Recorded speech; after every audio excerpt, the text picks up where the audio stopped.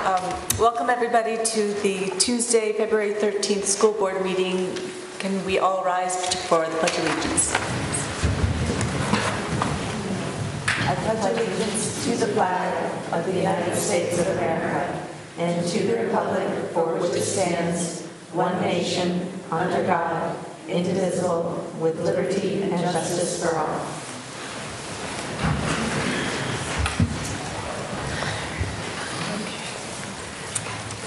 First, uh, do we have any adjustments to the agenda? Well, I have a few, if you don't mind. Sure. Um, Let's see. I know that we're adding under item uh, 6C, we're adding a, um, to, under middle school, a technology director. Um, I came in late, I'm sorry about that, but we're adding Steve Price for technology director. We're also adding um, under the high school, Mary Page for mock trial team, uh, going to um, nationals again, so congratulations to the students and their advisors. We also have um, some requests to um, have some overnight trips for the um, Alpine and Nordic teams. They're going to, to the, I believe, the state championships, and they need to be away each two nights um, in uh, over the next couple of weeks, and that's going to be on a revised agenda.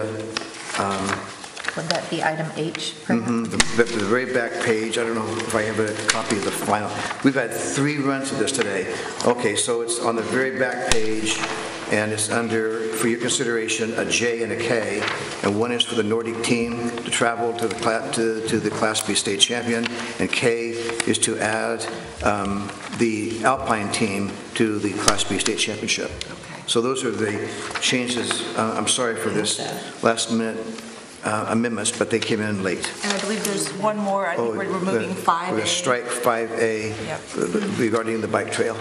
That came in from the town saying that the- the um, Conservation Committee, I believe, feels that they want to kind of go back and rethink their plan. Okay.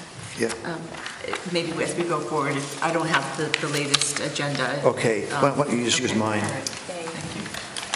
Okay.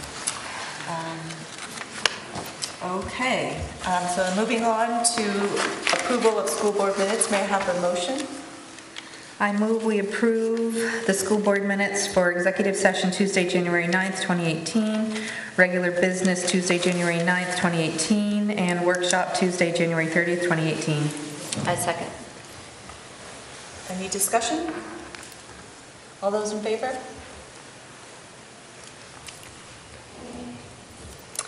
Uh, Comments from student representative? Hi everyone, so it's been a while since I've been here, I feel like, um, but Allison also has the flu today, so it's kind of a good thing that she can't be, that she's not here. Um, none of us want to get the flu, I don't think. Um, so in terms of sports teams, um, the boys hockey, boys hockey won their last game on Saturday against Kennebunk, six to three, and they're doing really well this season. Um, that's really exciting, and they play Yarmouth at home this Saturday, which is senior night.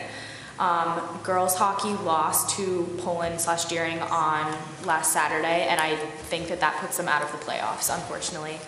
Um, boys basketball beat Poland last week and advances to playoffs, um, but girls basketball lost to the girls Poland team is the second seed in their class, um, and so the girls our Cape team lost to Poland, and so they're not they didn't make playoffs this year. Um, indoor track came in fifth overall at states. And um, in terms of art and band music, um, our high school had 19 student music standouts accepted to the state's honors festival, and um, uh, oh, Cape Elizabeth musicians scored or came in second place at the Berklee Jazz Festival, um, which was happening the past two weeks, I believe.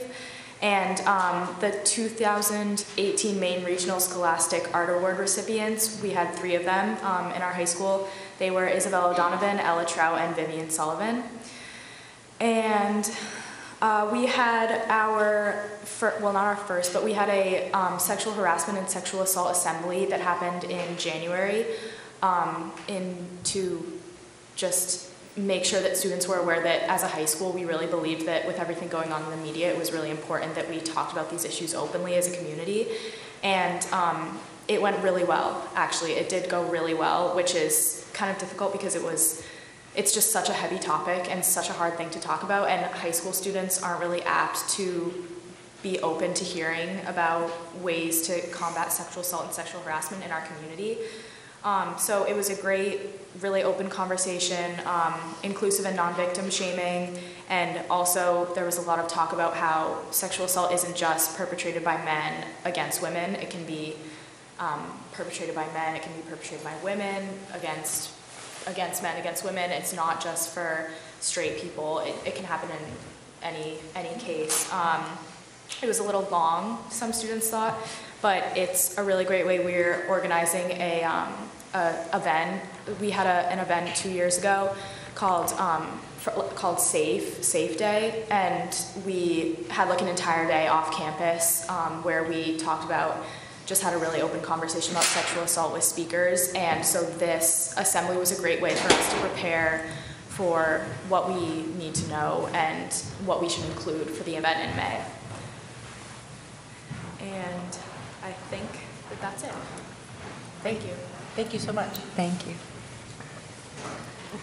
Okay, so the next um, item on our agenda is pub- uh, public comments um, on the agenda. Any members of the public care to address? Um, If there's any, uh, if if there are anybody, any- if there is anybody who would like to speak about something off the agenda, we are open to that consideration too, so.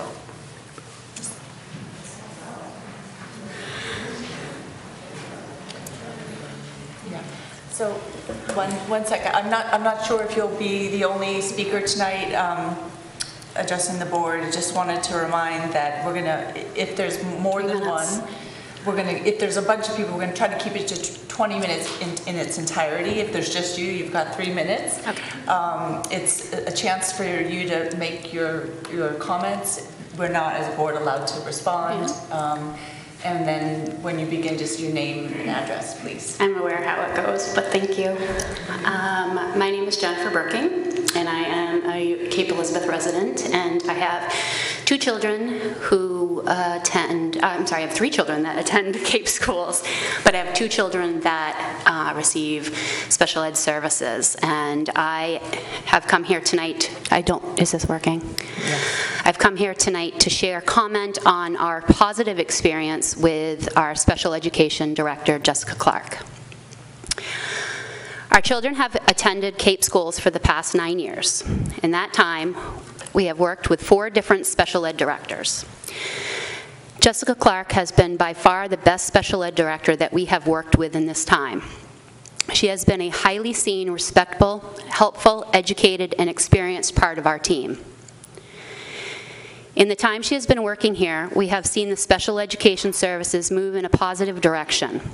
We see staff morale up immensely. We see educated, qualified, and caring staff and specialists join our district.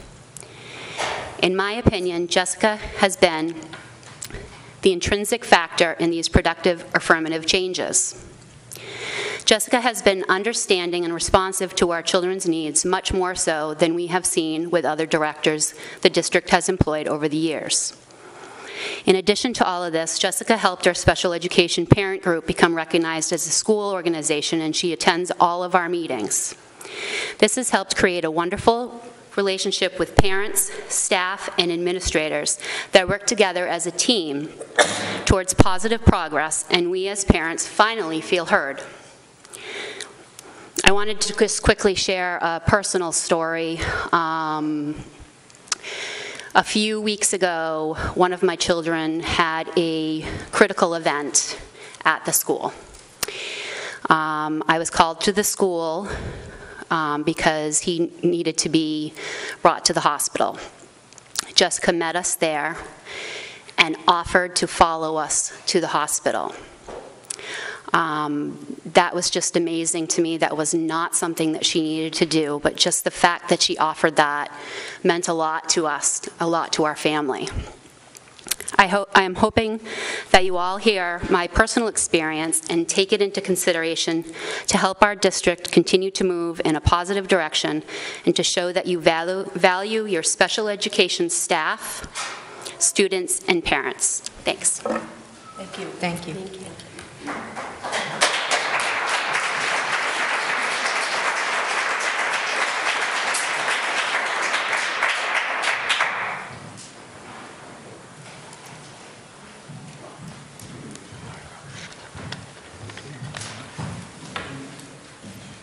Hi, my name's Alina Perez, uh, 14 Little John Road. I'm also an employee of the school. For the past 12 years, I'm here to speak in support of Jessica Clark. Um, I feel it's really important for the board to hear directly from us, staff, as well as residents on this. This is largely from a letter I wrote you this week, but I wanted it to also be public um, knowledge, so I'm going to read from it today. Um, During her two years here as director, she's taking a very proactive approach to ensuring that each child is treated as a whole child whose educational needs um, are truly and indeed um, individualized. She's really prioritized the voice of parents, um, both as advocates for their children and also as critical stakeholders in developing educational programs. She's worked long hours to hear parents' concerns, gain their trust, and collaborate for the best interest of each student. She's bright, she's a creative thinker, and she really values um, a creative problem-solving approach, really as opposed to some of the past experiences we've had with autocratic decision-making. I've been here 12 years. This is my fourth director. In the last four years, we've had three directors.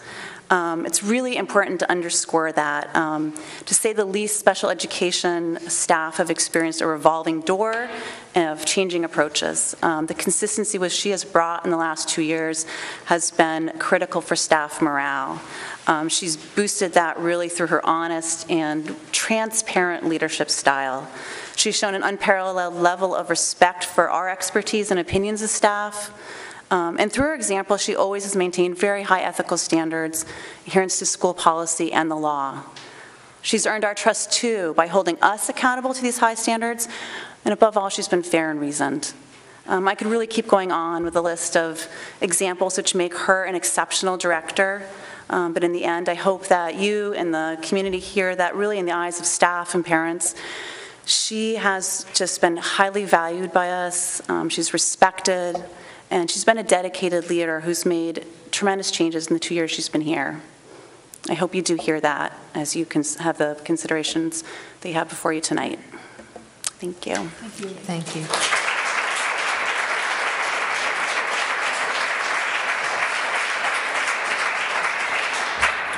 Good evening. My name is John Delisle. I'm a special education teacher at Pond Cove Elementary School. I've taught in Cape Elizabeth since 2009, and I'm here to voice my support for Jessica Clark. I want to start off by asking if anyone on the panel could recite the Cape Elizabeth's vision statement. It's open minds and open doors. If you walk through the hallways at Cape Elizabeth schools, you can see that saying open minds and open doors hanging all around. Recently, the one word that sticks out to me in that phrase is doors. And the reason that it does is because when it comes to special education leadership over the years, it does not feel like an open door here at Cape, it feels like a revolving door. Before Mrs. Clark arrived, Cape Elizabeth had three different directors in a matter of seven years. During that time, within special education, both short-term and long-term vision for student success changed depending on the leader. Staff morale plummeted, and trust was broken at many levels. Since Jessica Clark was hired in 2016, she has been open, upfront, transparent, and honest about her vision and plan. Mrs. Clark understands the importance of having appropriate environments and programs put in place to help achieve maximum student success. She has always made herself available for communication and provides immediate feedback on job performance. Since day one, Mrs. Clark has had a strong desire to work as part of a team and has provided meaningful district-wide professional development opportunities for both general education and special education teachers, related service providers, and educational technicians. Over the past year and a half, there have been numerous ways that Mrs. Clark has demonstrated that she's not only a good fit for Cape Elizabeth, but rather a perfect fit. Her ability to know the strengths and needs of every student with an IEP that I personally case managed in the past 18 months is nothing less than extraordinary. On several occasions, Mrs. Clark has walked into my classroom, greeted the students by name, is aware of the background, and carry on a conversation with them as if she was a lead teacher. I've never seen that before in a special ed direct- director, nevertheless, any administrator in my 14 years of education. Her knowledge of students has allowed her to support case managers and educational technicians and related service providers as a program and plan for students' academic, functional, and developmental needs. Superintendent Coulter, back in 2016, during the beginning of the school year speech you gave to staff members, you said that we as a staff need to chill out and that everything will be okay. This statement was, was, was received with great fanfare and had people laughing and cheering. Hearing those words from the top level gave so many people hope and helped us believe that a change was going to come. That is up until a week ago. I can wholeheartedly agree that if Jessica Clark is not offered a contract for next year, we would be doing a disservice to students, parents, and staff. The community is extremely lucky to have Mrs. Clark's professionalism, adherence to the law, commitment to excellence, and compassion for education. I can think of no other person in this school district who has put forth more effort and done more over the past year than Jessica Clark. I thank you for your time and consideration.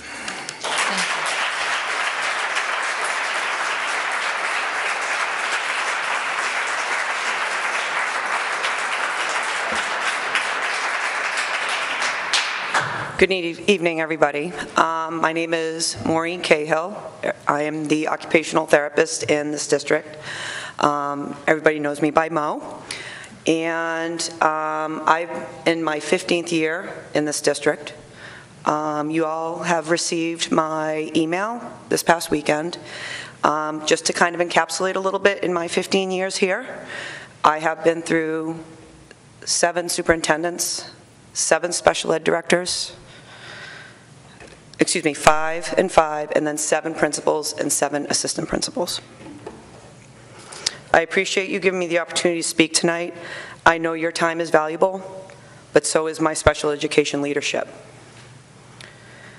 You've all, as I said, received my email regarding my concerns around this decision to not have Jessica Clark's contract renewed, and how this decision will negatively impact the Cape Elizabeth schools, as well as the view neighboring communities will have on us if this is not reconsidered. What is incomprehensible to me is that how Cape Elizabeth has, had kept a formal, former special education director who was, to me, degrading and condescending, as well as to many of us. As well as she did not have the students' best interest in mind. We now have a true leader, someone who genuinely cares for both the students and the staff and cares about leading CAPE into the right direction. But I feel that is so easily discarded. I just can't seem to make heads or tails of this. I view Jessica as our Tom Brady. She has navigated our special ed department the past couple years through some great as well as challenging moments, but at all times supporting us, sacrificing so much time and energy to make sure that we are up to speed with both special ed law as well as holding us accountable for our performance.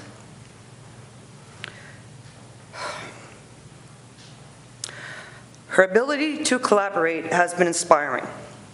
It has been a long time since I have seen our team inspired and motivated. Excuse me for a second. Continually changing our leadership in special education does not help the morale or the productivity of an amazing, talented staff here in Cape Elizabeth. Like any team, if you keep changing the leader, how successful are we really going to be for ourselves as well as our students?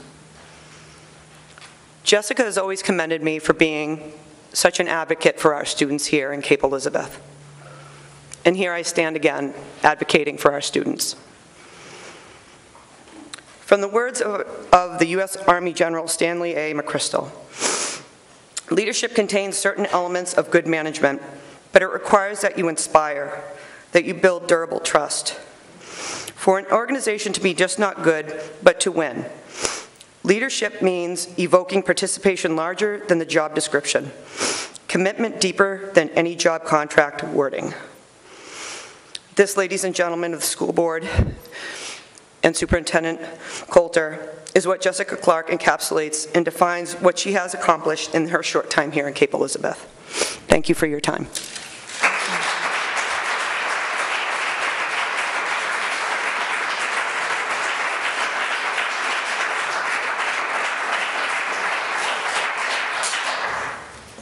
Hi, I'm uh, Beth Milroy. I'm a resident of Cape Elizabeth, 5 Spoondrift Lane.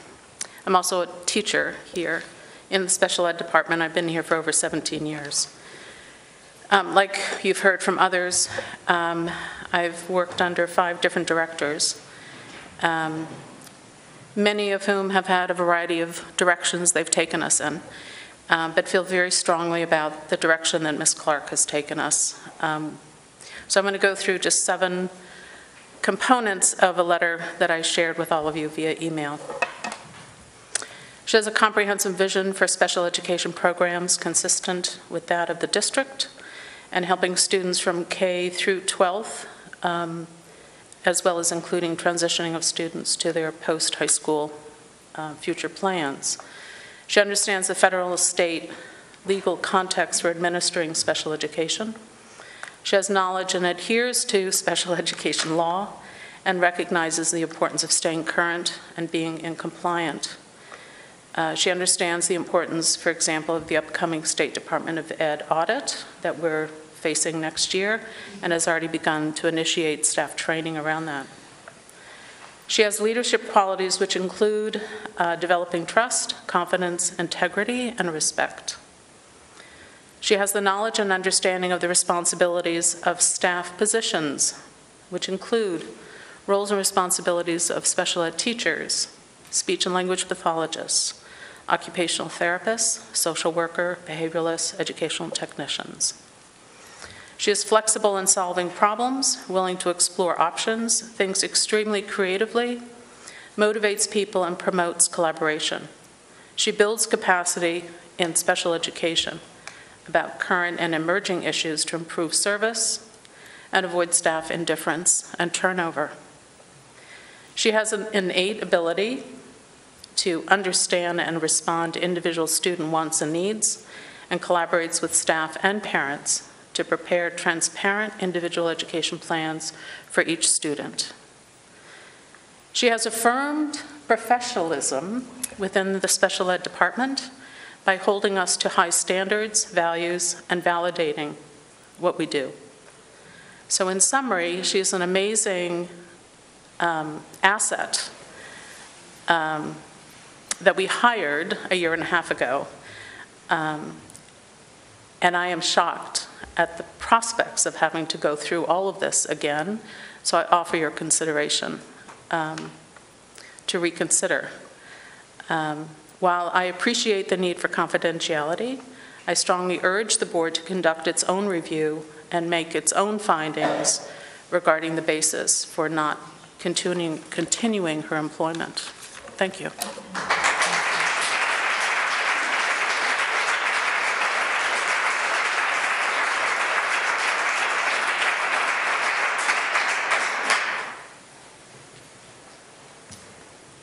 Okay, I think that's everybody, right?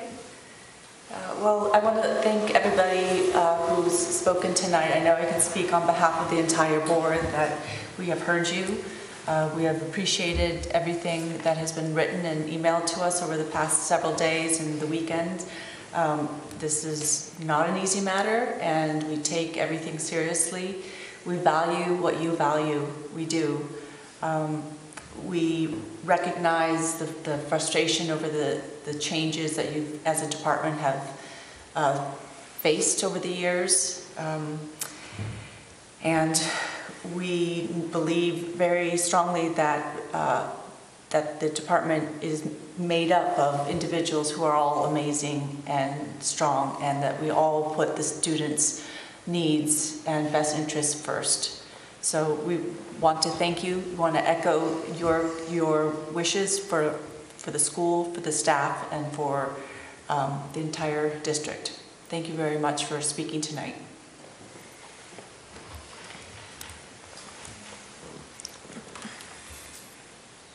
Okay. So this, um, we're moving along to item five, which is communications. We are not doing A, so any principal updates?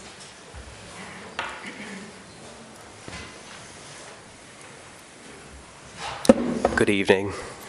It's good to see you all tonight. I have just a few updates and um, would be glad to answer any quick, quick questions afterwards. Um, so, a lot going on at Pond Cove. Um, we recently um, provided um, our progress reports to parents via Power School on February 2nd, and um, I've learned that we have a very efficient and, and functional system for doing that, and I thank the tech department and in particular Dean, our Power School um, administrator, for his support with that.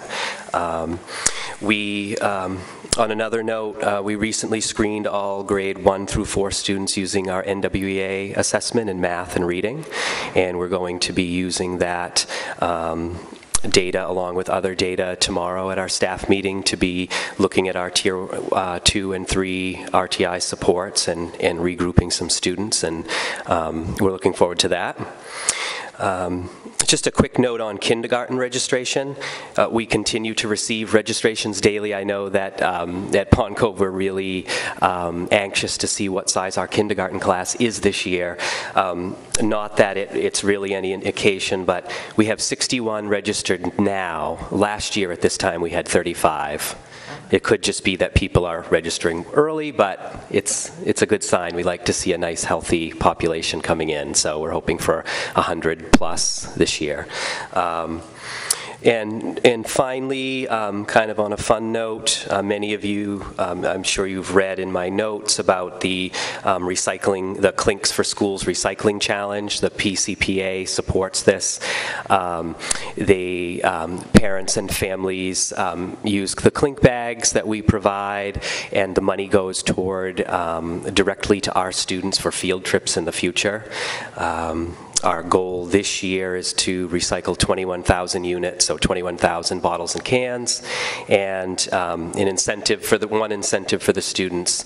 Um, besides the feeling of accomplishment is that um, there are a few students and a parent designing an outfit for Mrs. Forey Pettit and I to wear made out of recyclable materials. Um, so if we meet the goal, we're going to wear the outfit, and the kids are voting on what hair, uh, what color our hair will be that day too. So we're trying to make it a little bit fun and motivating. So um, that's all that I have for tonight for you. If there's nothing else. I have a question. Yes. When will you be wearing that costume? If they, well, they have to meet their goal. And I So said to Sarah, I said, but if they don't meet their goal, we'll say, well, you worked really hard and we'll do it anyway, right? But she's not convinced of that yet. So, so we'll let you know. We'll advertise it when we're going to do it. Okay. Okay? We'll be there. Thank you. Yeah. Thank you.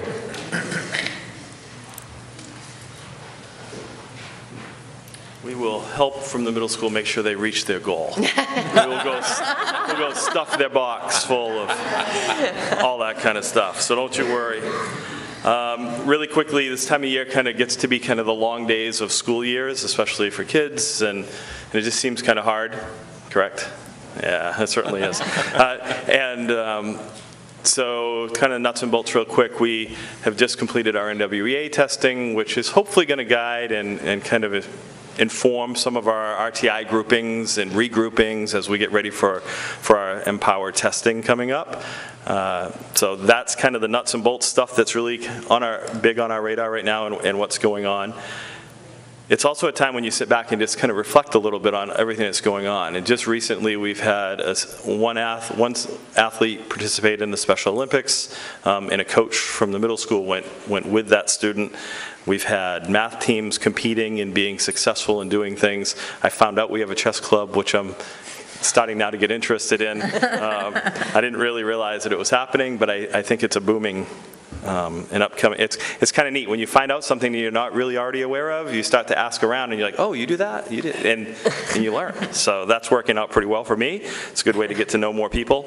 Um, winter sports are wrapping up, and obviously our music department's always incredible. So I just got a nice list of all the kids that have earned honors in that. So it's it's inspiring every day to come to work and just see the stuff and the quality of kids and teachers that we have. And, and I think that's the part when you're in these kind of long parts of the year to really think about and appreciate.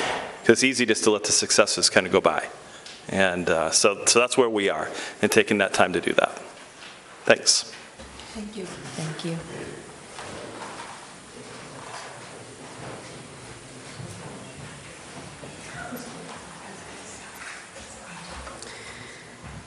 So just a couple things. First, I wanted to mention something about the sexual assault assembly that Emily didn't mention, and that is that she, along with Tony Inhorn, two seniors, were the two student moderators for that event, which um, is not something I could have done at their age in front of the entire student body, so, and they did a great job.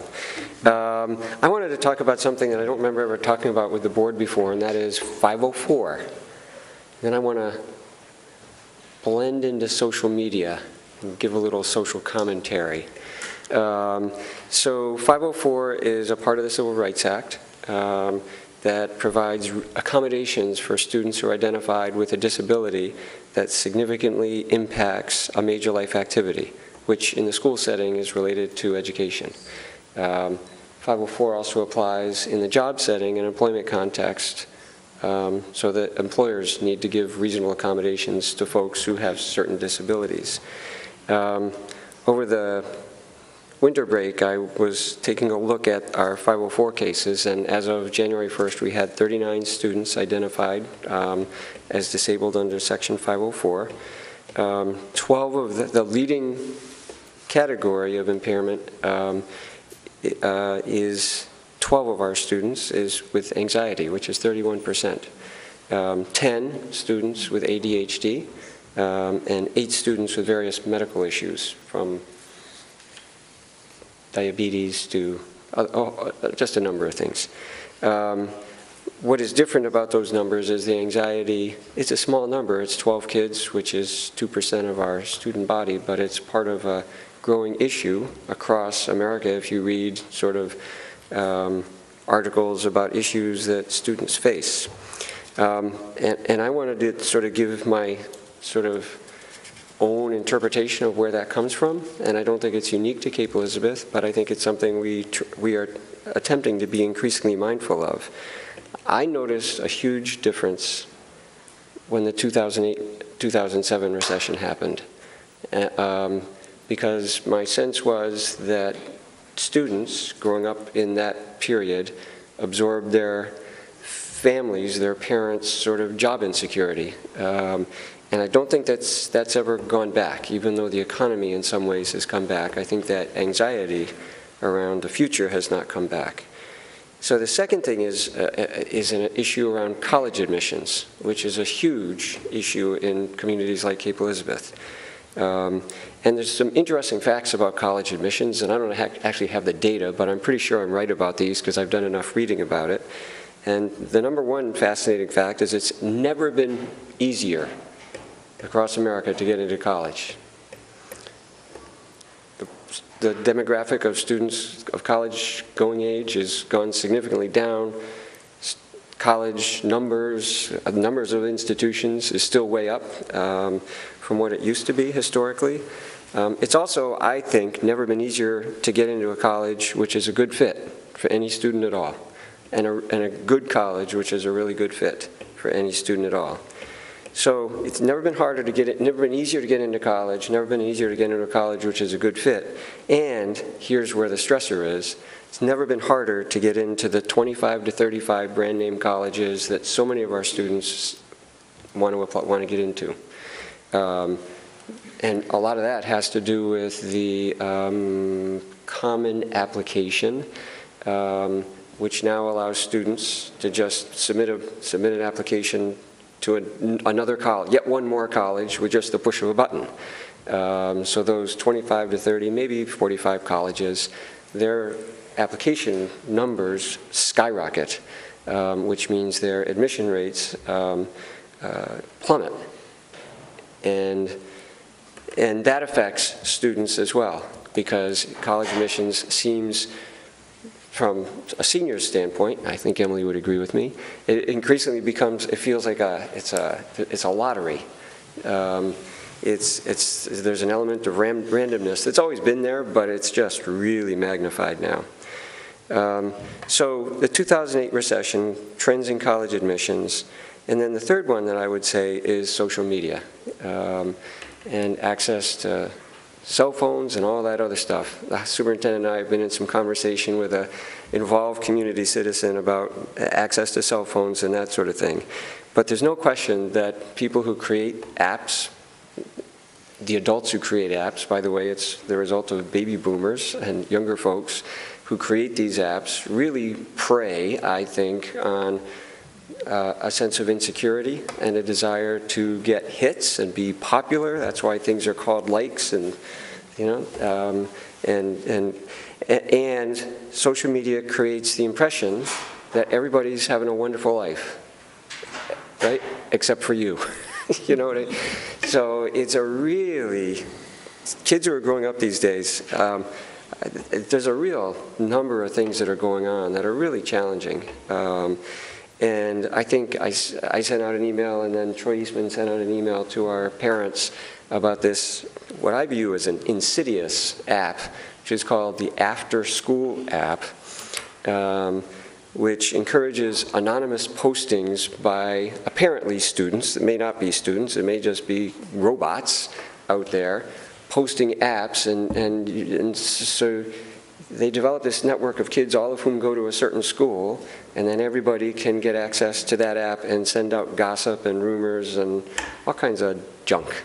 Um, and it really is, and, I, and it's, it's fascinating to me that, and I'm just about done, it's fascinating to me that it cannot have been a coincidence that last week, even though the after school app has been around for four years, last week there was a blitz of our students in the middle school and high school, blitzed by text messages from this app, sort of, I think, creating the impression that this is some kind of a popular thing and preying on the idea that I've got to join this because other people are going to join it. Um, it really is sort of a, an, an brilliantly insidious sort of um, form of marketing.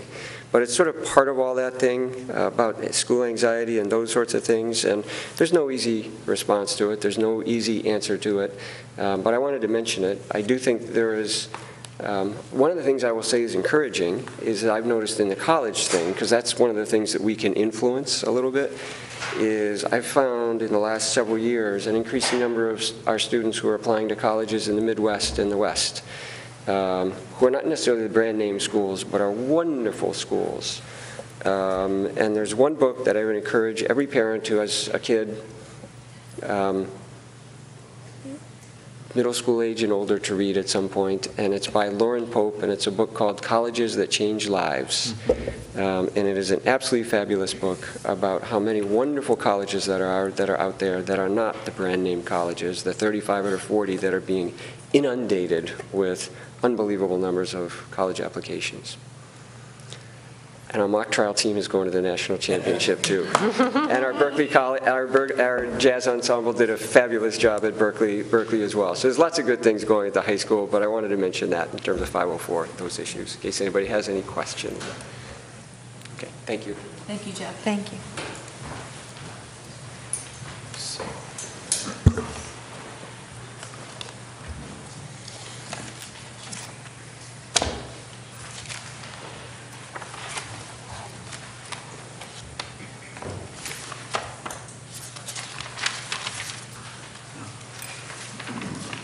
Good evening. Um, I wanted to come back to a point I've made earlier about um, our um, consideration for joining uh, with up with other neighboring districts for sharing and cooperation. Um, We've moved on, and um, we being uh, Cape Elizabeth and Scarborough, we- we're we're now um, part of a larger group. Uh, That group includes Portland, South Portland, um, Westbrook, Windham, Bonnie Eagle, that may be it. Um, It's called the Sebago Educational Alliance. Um, And we're just at, at, at, at an infancy stage of thinking about what we might do collaboratively. What is appealing to me about, I've only been to one meeting so far, there are several meetings between now and April, but they're looking at a, um, the idea that they could come up with topics that districts would just pick from that menu of things that they want to be part of. So I've got a list of 14 possibilities. The expectation isn't that we're in on uh, any more of these than we want to be, but, you know, the list includes things that we're already doing, like collaboration regarding food service. um, um, And um, so what- what's the other one we're doing right now? I think we have a, I think it's with transportation and um, ordering cleaning materials. But there are the possibilities of everything from alternative education programs to, to language programs, to teacher development, um, data coordination, homeless children, families, what to work, to how we can work together. But I won't go through the list, but just, just know that we are meeting, um, and I think that there is some potential promise in this. Donna Wolfram is aware of this and has- has attended one of our meetings and um, is quite excited about the possibilities, but just know that it's going forward. We have to turn in uh, what's called a Phase Two application sometime in, uh, in the middle of April, but I'll keep you posted, but that's still co- coming along quite nicely. Um, I also wanted to mention um, the announcements we have to date for um, retirements, and there's, I'm I'm sure there'll be, the possibility is that there will be others coming, but as of today, we have three from very, three lovely people, all with long-standing careers here at Cape Elizabeth, uh, including Wendy Terrio um, at Tech 3, um, Michael Efron, um, at the high school, I know, and and Deborah Jordan uh, Pearson at at Pond Cove. So three lovely people. Um, uh, My gosh, their years total here are are many, but, and I know they're all going to be missed, but I wanted you to be aware of that. And um, again, I'll- as I get more, if there are more, I'll I'll pass that along.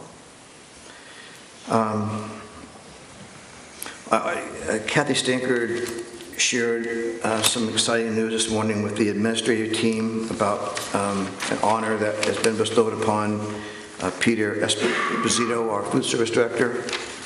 I can find it here. Um, I guess the Kiwanis Club in Scarborough uh, has given a, a recognized and has given an award to to Peter for what they're calling the hero of the quarter, and it has to do with um, what he's doing in Scarborough, and he's also doing it in Cape, by the way, providing bag lunches and food for families to take home during extended um, weekends and vacation periods, so the children have um, things to eat that um, can be stored even without being refrigerated and, and help them get through long breaks without being able, able to take advantage of the food service provided at the school. So congratulations to, to Peter. Um, also wanted to mention to you that Donna Wolfram um, is, is tentatively going to be visiting our school district on February 27th. Um, That's the day of your budget workshop, and I've encouraged her to stick around for that if she, if she can. I think she will. So that's exciting, and she'll be uh, in the office as well, but I want you to know that she will be here soon. Um, Our emergency plan committee continues to meet monthly. I know that you wanted a report before the year ends, and I haven't forgotten that. Um, I I also wanted to um, really thank our police chief, Neil Williams, for being a really a regular attendee at these meetings and, and, and um, helping us think about various scenarios. We, more often than not now, when we meet, work through a hypothetical situation, maybe two, and talk about, okay, if this were to happen, what would we do? How would we communicate? How would we, where would we move or not? Would we lock down or not? And it, we it go through what's called a tabletop exercise. They've been very useful to us. We- We've seen some weaknesses and some areas for improvement. We- We've also clearly gotten much better at thinking about what we would do, God forbid, that we needed to make a, a serious decision. Um, but um, that's coming along quite nicely.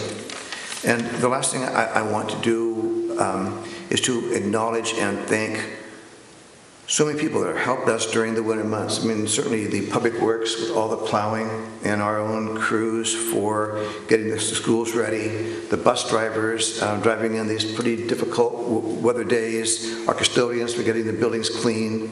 Um, I mean, a lot of people work very hard to keep things going during the winter months, and I just think that we should be sure that we thank them and, and um, when we can, let them know how much we appreciate their hard work. Thank you. Thank you, Howard. Yeah. Thank you.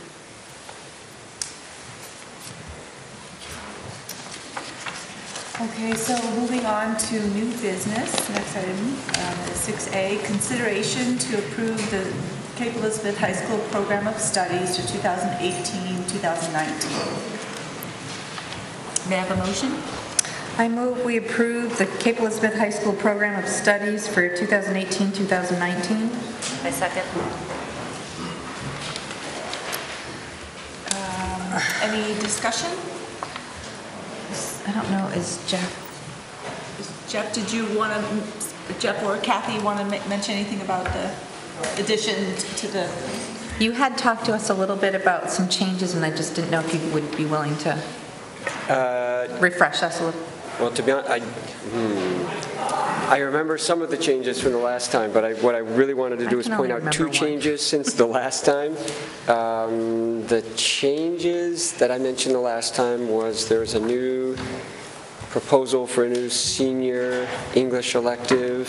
It's a literature focus, but it's focused on literature that deals with science fiction, and it's called Monsters and Madness. Yes. Um, And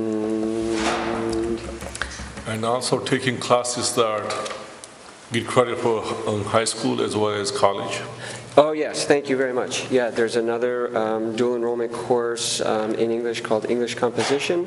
Uh, That's through SMCC, so that students who qualify for um, college credit for it can get both high school and college credit for that course. Um, And there was one other, and I'm... That's that's in English and math, right? Dual classes. Yes, well, the- yes, the the math one has been in existence for a couple of years, so the math one is not new. It's that, the math one is called quantitative reasoning. Oh, and then there's one other math course that's called geometry, it's geostats, and it just goes along with, uh, it's a combination of geometry and statistics, basically for students who start ninth grade in Algebra 1, then they would go Algebra 1, Advanced Algebra, and then geostats, which is a slightly different twist on what we've been doing for a while. I did just want to point out that in addition to that, since our last meeting, there were two new additions to the program.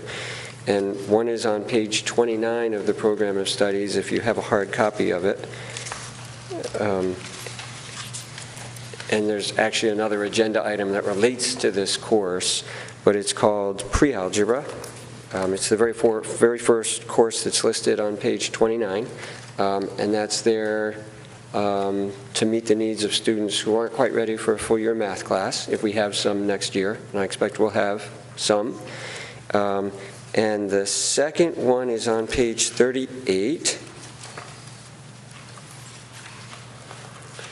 Um, And this one, I'm, I'm a big fan of all these courses, but this one I wanted to particularly point out. Um, Our social studies and science departments have been working together to create a proposal for a senior year elective that would be co-taught by a social studies and science teacher called Honors Environmental Science and Economics. So students who take that class um, would be introduced to the idea of the science of environmental science, but also the economics implications of various policy approaches to dealing with some of the issues that, um, that environmental science introduces, um, including global warming and water issues and all sorts of things. So I think it's, it's, it's a really neat foray into some interdisciplinary learning at Cape Elizabeth High School, so I'm excited about that. Yes? um, how is it that it's 15 credits? Is it more than what? Yeah, because honors, great question. We right now have an environmental science class, which is 10 credits. We have an economics class, which is five. So this is a class that during the first semester would meet two periods. And then the second semester it would meet one period, which would translate into 15 credits, which is the same amount that students would traditionally have gotten by taking a standalone environmental science class and the standalone semester economics class. So that's, thank you. On page 26, I think there's another class that's new, uh, Monsters and Madness. Is that a new class or? Yeah, that, that is a new senior elective in English, yes. Great. New proposed senior elective in English. So, Jeff, and it could be that I haven't paid great attention in years past, and that's not great for me. But um, I'm excited to see um, on 29 at the beginning of the mathematics section, for instance, that um, we really have a strong link to what students will be able to do and what they will know and demonstrate. It's, it's nice to have that right in there. The, um, it looks like it's a nice, strong link to our proficiency-based education. and- So and this if it hasn't been there before, then I feel great No, it's- that I noticed it. It has not been there before. It's a good thing you pointed that out, otherwise Kathy would chew me out afterwards. So Kathy is, is. So you're welcome, Credit, everyone. Kathy gets credit for putting these into the program of study. She did a lot of work herself. great. and sort of, so in, before each one of these departmental areas, you'll see the graduation standards that have been identified attached to all of the classes that are- are embedded in the, in the individual courses. Useful. Yep. I, I just wanted to make a, a a comment and a push for paths in the, in the course book. Um, On page two, I, I, I I don't, I I wanted to have time to sort of give you an example of what I meant, but I didn't have time. Um, When you speak about uh, other students venture out, the, it's the third paragraph, um, it's not just about paths, but it's about other alternative pathways. And I, I feel like there's a way to, to highlight that in that, in that letter a little bit more so, especially for paths. And then linked to that would be um, the, the description of paths. I had it. Um, And I know it's, I know it's different from one student or one year to another, and I can't find it right now, but the, the course description for, for PATHS, I thought it might be helpful if um, in there, students have a sense of roughly how many courses they have to take at Cape High School in order to be able to still do PATHS. Um, Because I, I- don't want people to look at it and think, oh, God, it feels so complicated, that I can't even approach it. Right. But maybe if you spell it out a little bit more directly, people We, we can do that, and looking at it right now, and you're right. Um, In fact, we may even be able to do it before this gets into students' hands, um, which is to describe the individual programs available in PATHS a little bit more. I will say the last couple of years, we've really upped um, our sharing of information with students about PATHS, so um, Last year, we were scheduled to have uh, a representative from PATHS come and speak to all of our sophomores in an assembly. Last year, because of a snow day, it couldn't happen, and then because of the time of year, we couldn't get it rescheduled. This year, it did happen a couple months ago. So all sophomores, um, who are the primary target population, because they're signing up for classes for junior year, and the vast majority of students who start at PATHS are juniors. Um, So all sophomores attended an assembly where um, Kevin um, Stilfen, who presented to the board a couple of months ago, presented to all, the- all the sophomores about each one of the programs that are available there. But we can, we can change this presentation a little bit in the program of studies in time for students to get it, Susanna. So that's a great idea. for this year. Yep, Great. it's not hard to do. Thank you. Okay. And then I get, I just wanted to note that, um, I don't remember this from last year also, but um, the changes in um, required courses for the 2021 and 2022 graduates, just noticing the increase in the English um, and math. I think currently, um, current juniors and seniors only are required three years of math, and so it's increasing now to four. So Yes. just reflecting that it's supporting the Right. 21st century learning Yep. target, so You're thank you. ex- You're exactly right. Yep. Anything? Thank you. Thank you.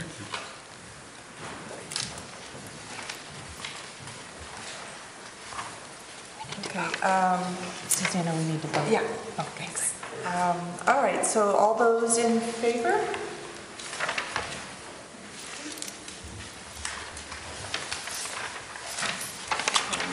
To Item B, consideration to approve new co-curricular activity and administrative stipend positions uh, for the chess club advisor and international baccalaureate study group chair. May I have a um, motion? I move we approve the new co-curricular activity administrative stipend positions for the chess club advisor and middle school co-curricular activity 2017-18 International Baccalaureate IB Study Group Chair, High School Co-Chair Administrator, Administrative 2018-19. May I have a second? I second that. Any discussion?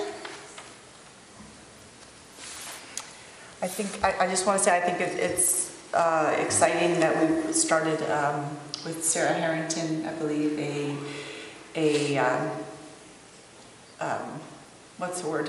A- a- a group- Exploration? A group, thank you, that's going to explore the possibility of bringing this to um, our, our town. I think it's very exciting, so I want to say thank you to Sarah and everybody who's involved in the committee. Exploration, thank you. Okay, um, may, is there all those in favor?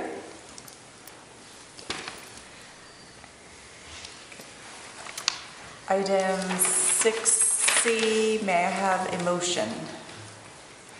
I move we approve the following 2017-2018 athletic and co-curricular personnel nominations as listed in item 6C of tonight's agenda. I second. May I just be sure that, that um, I've been clear about what the additions are? Yes. So what the additions are, I believe, is Steve Price, Technology Director under middle school. and Or is that technical director for the, Technical Director. for the plays? Technical director? Oh, yeah, I'm sorry. I thought that might be. Right. And then I have Mary Page, mock trial team, going to nationals. Right. Yep. Thank you. Thank you, Humphrey. Yep. Thank you. All those in favor?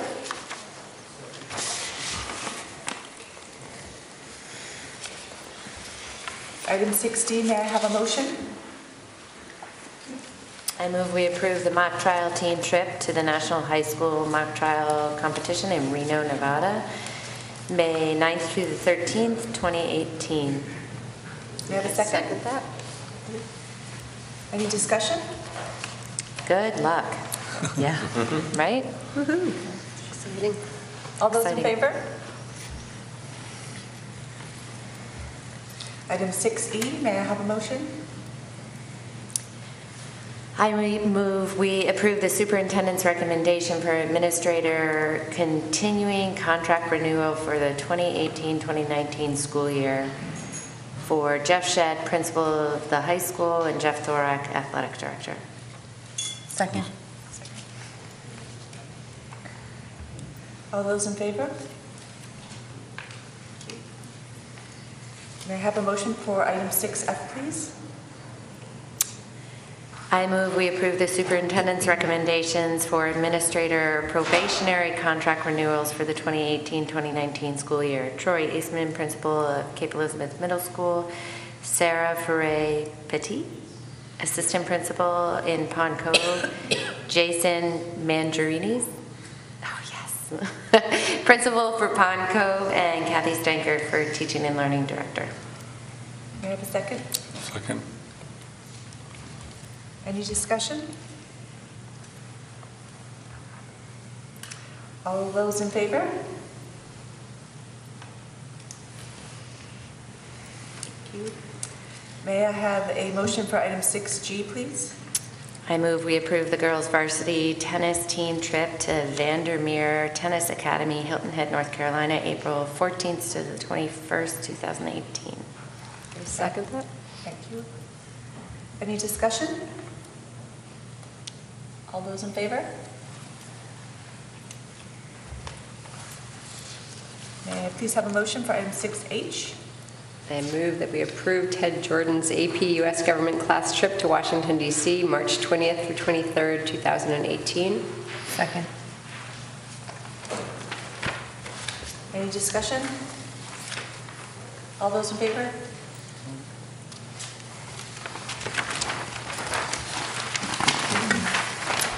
On to item 6I, may I have a motion? I move that we approve nomination of personnel for the 2017-2018 school year. Heather Boubier, high school pre-algebra teacher. May I have a second? I second. Any discussion?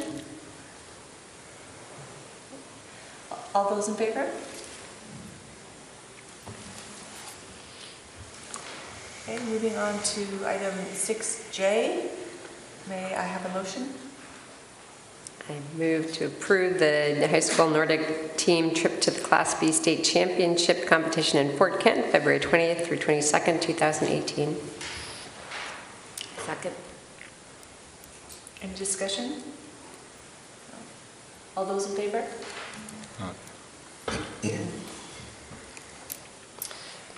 Uh, Lastly, uh, item 6K, may I have a motion? I move we approve the high school alpine team trip to the Class B state championship competition in Black Mountain, Mars Hill, February 18th to the 20th, 2018. I have a second? Thanks. Any discussion? It just sounds like there is a lot of amazing stuff happening. Yes. So, wow. Good luck to everyone. Good time of year for that. Mhm. All those in favor? Okay, moving along to committee reports.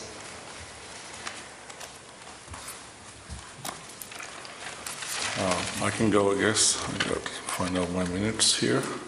Uh, On February 24th, uh, the AT committee met. Uh, It was my first one there, and I was among very intelligent people, about eight of us, and we had a very productive conversation, learning experience. Uh, Nothing to report, just the fact that how iPads are transferring from seniors to sixth graders, projector issues, projector purchase. Uh, One, one school room was still using a chalkboard, so they're going to purchase or look into buying a a whiteboard for that. Um, A lot of great activities taking place, like digital night talks, uh, Khan Academy, they discussed that. One takes the PSATs, and then actually in Khan Academy, the, it prepares them how to study based on their score. So then the school's trying to encourage folks in that.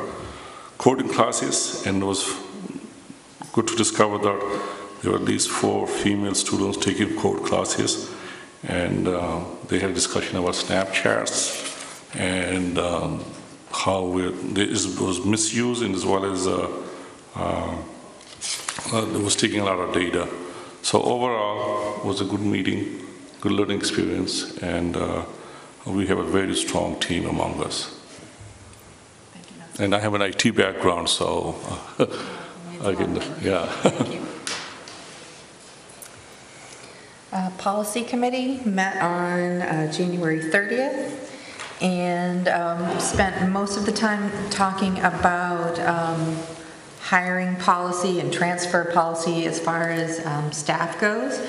And um, Policy Committee will be meeting again at the end of this month. Um, We have chosen at this time to stick with the, the last Monday. And um, are we at 3 or 3:30, Howard, do you remember? I wish, I think it's, that's 3. I think it's three. I think it's 3. Um, Thank you. Um, We will continue to discuss that policy and iron all those details out, and um, going forward, we will meet with people to prioritize what needs to come up in policy. So stay tuned. Everybody's welcome at policy. And just for IT, our next meeting is March 21st at 2:15.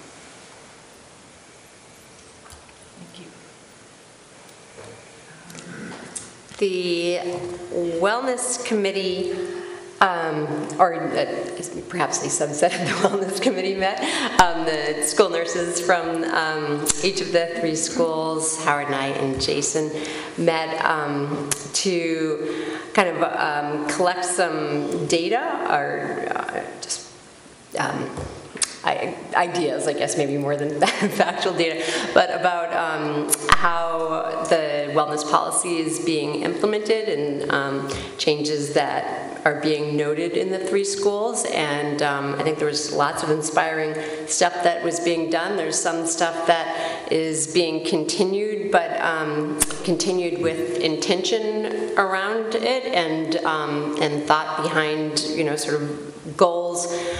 Um, and then there's new things added. I think we heard about um, a third grade teacher taking a daily walk through the school with their students. Um, talk about lots of movement um, breaks in the elementary school. Um, and there were a lot of ideas put out for the for the future of um, you know, sort of ideas to keep this going forward. And I don't know if we have a date to reconvene. No, I think that we want to come back to the board next with a report on the kind of examples that you're posting tonight. Yep. Yeah, and I think that we may be able to do that even next month. Yeah.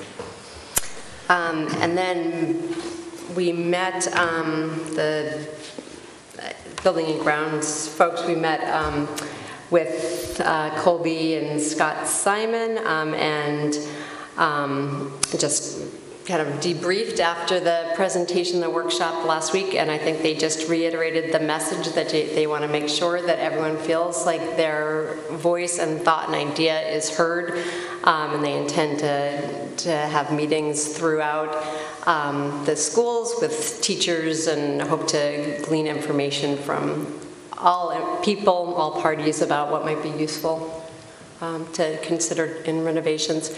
Um, and I think that was that. I don't think we have a future date for building and grounds at this moment.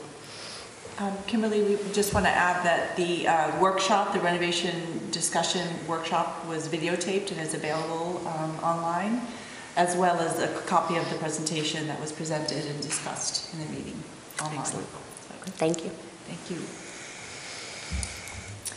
Um, just mentioned the, the finance committee did also meet on the, on the 6th and sort of outlined uh, the school budget, the process, sort of the environment, uh, and some of the, a lot of the constraints that were sort of under what goes into a school budget, and um, sort of as a backdrop to the upcoming longer session where we'll go through a detailed review, the upcoming meeting on the 27th. I think video of that's also available, and I should be able to post um, a some of the summary of the key points of that uh, discussion, along with uh, some of the materials that were presented that evening. Thank you, John. Anyone else? Um, The Town Comprehensive Planning Committee, uh, which I'm a member of, held a public forum on um, Thursday, January 25th, here at Town Hall, which was very successful. Um, We had a a good number of of people from the community and also from the schools and participation. I I just want to say it was very special because um, earlier in the week, myself and some other members of the committee um, gave a presentation to students in Ted Jordan's AP History class. And Ted, um, because we want input from everybody, not just adults, you want them from children, students, Ted uh, gave extra credit for anybody who came to the meeting.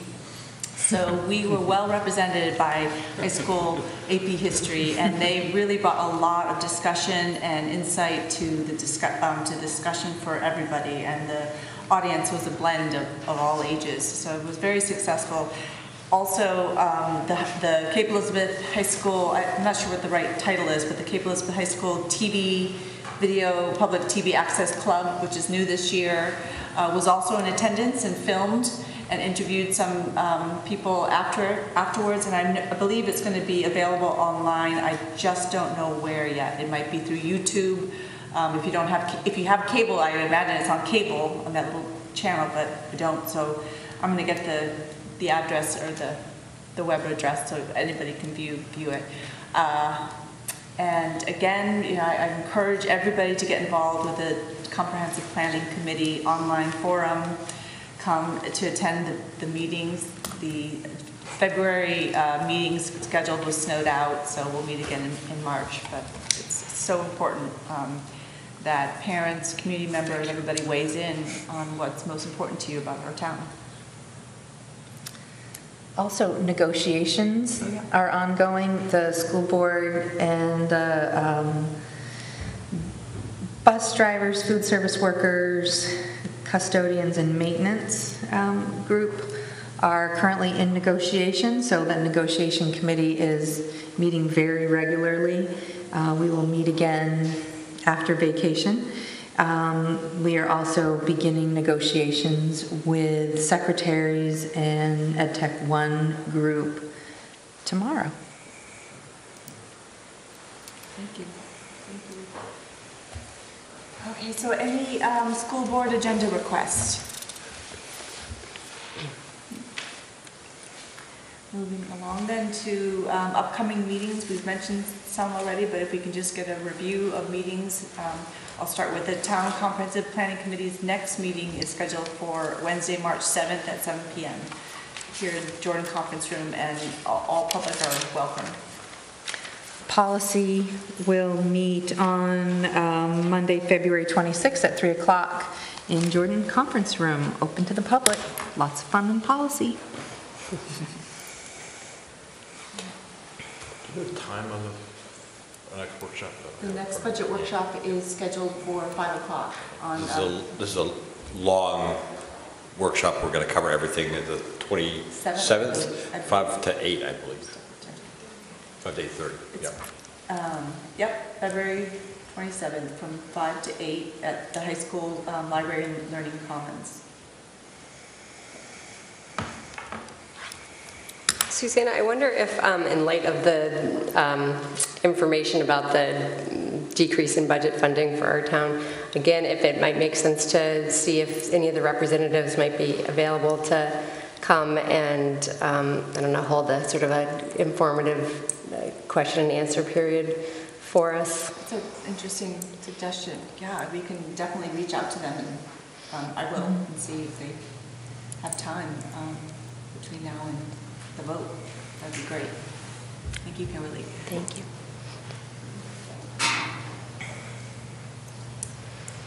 Okay, So I guess that moves on to item 10. May I have a motion? I move we adjourn. Second? I second. All those in favor? All right. Thank you.